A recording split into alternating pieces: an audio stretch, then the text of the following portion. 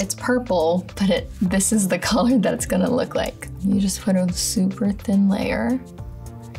Sorry, it's from Wonderskin, and this shade is in Whimsical.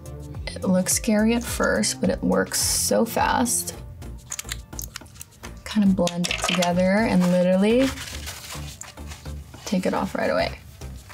And it's this beautiful, kind of natural looking lip and it's gonna last you all, all day.